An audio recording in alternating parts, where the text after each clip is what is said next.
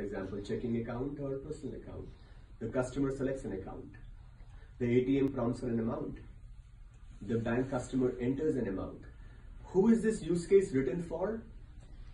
Eventually for the developer who has to write that code to make all this happen, right? Whenever you interact with an ATM machine, you know some developer in Wells Fargo had written that code that is giving all these prompts to you, right? But it's also written for the product managers, for the business team, because they own the ATM, they own the functionality, right? So this use case is used by also by QA people. Quality people have to then test this ATM in their you know lab to see, hey, is this machine doing? For example, suppose the ATM doesn't prompt for an account and assumes checking account. So the QA engineer opens a defect and says, hey, I didn't get a prompt.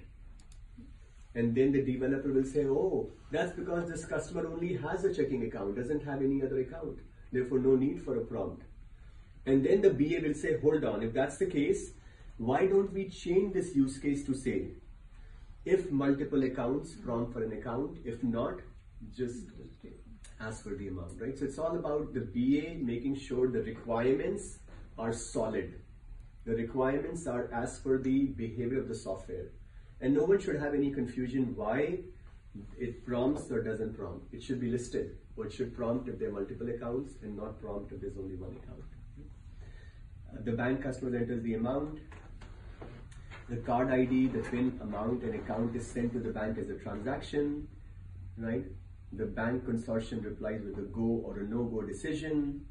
The money is dispensed, the bank card is returned, the receipt is printed exactly in this order. Basically, it's like uh, a flow chart where you say yes and no, yes. For Wonderful, absolutely, you got it right, Bharat. This use case description is then translated to what we call a use a flow chart or an activity diagram that has those yes and no and branches and forking and things like that. Exactly, exactly.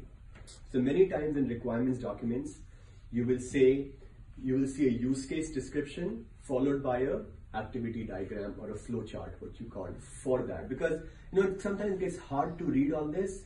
It becomes easier if it is uh, in a flow chart later on because they say a picture is worth a thousand words, right? Okay, so this was the